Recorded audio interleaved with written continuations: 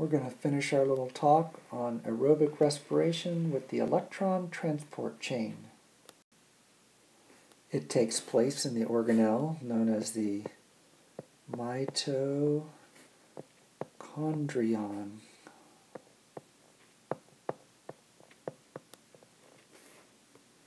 The mitochondrion has an outer membrane, as you can see here, but it has an inner membrane that is elaborately folded back and forth to maximize the surface area to volume ratio for the chemical reactions that I'm going to represent happen on this inner mitochondrial membrane. So the more of that you have, the better. We left off with the Krebs, which also happens in the mitochondrion, so we're going to stick that right there. And the main energy carrying molecule coming out of the Krebs is NADH.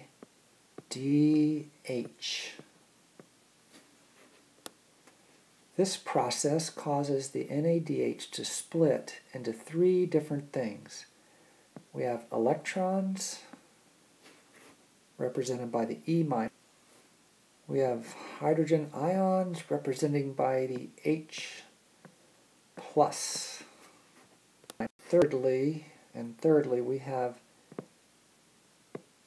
NAD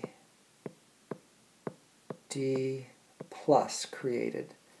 I'm not going to say a lot more about NAD plus, except to say that it gets sent back to the Krebs so that it can be re-energized and used again.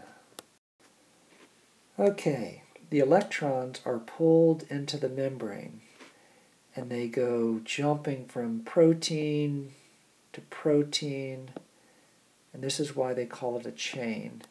So these electrons are hopping along the membrane just like the electrons in a wire until they reach a special protein embedded in the membrane that is some form of active transport and we're going to call it the H plus pump.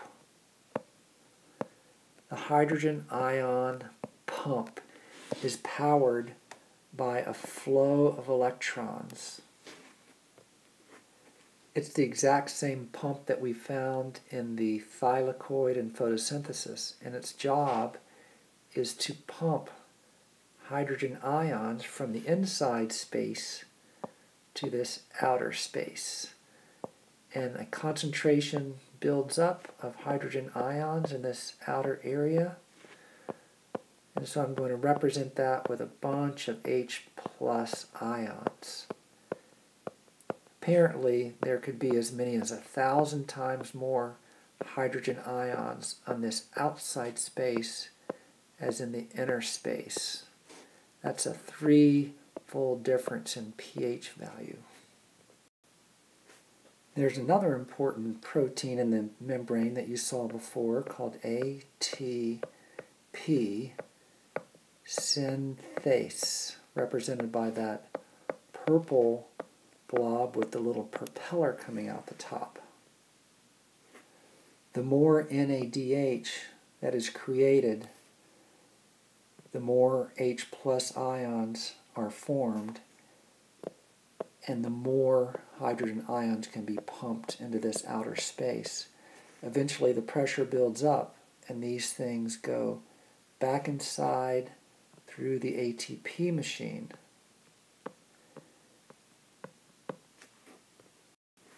And every time a hydrogen ion goes through the ATP machine, the propeller goes around one time.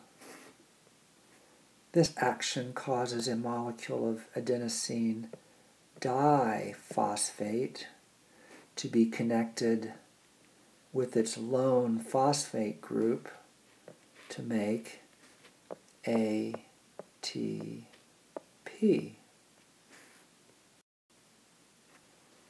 So if we took all the NADH that was created in the previous steps and ran them through the electron transport chain, we would create 34 molecules of ATP. Very important energy carrying molecule. Okay, a couple of final points.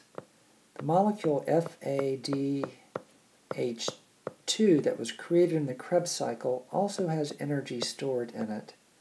I'm not clear on the process, but I think it produces hydrogen, ions, and electrons and would be fed in a similar fashion through the electron transport chain. Let's not worry anymore about that. I do want to continue my story with the electrons. After they turn the pump on, they get pulled into the inside space by our good friend oxygen. Oxygen gas would diffuse into the cell and then diffuse into the inner space of the mitochondrion. Oxygen is considered to be the final electron acceptor. Oxygen is reduced in this process and it combines with hydrogen ions to form one of the outputs from respiration, which is water, H2O. Okay, we're pretty much done. We've taken all the energy that was stored in NADH and FADH2 and converted it entirely into ATP, which as you know is the energy currency of the cell. Two final thoughts. If an aerobic creature stopped breathing, in other words, if you ran out of oxygen, the electrons would stop moving. And there's the telephone. And if the electrons stopped moving, the pump would break and no hydrogen ions would be pumped and the ATP machine would stop and you wouldn't make any ATP and you would die. This would all happen even if you kept eating food and had plenty of materials for running the Krebs cycle. So, keep breathing and have a good night.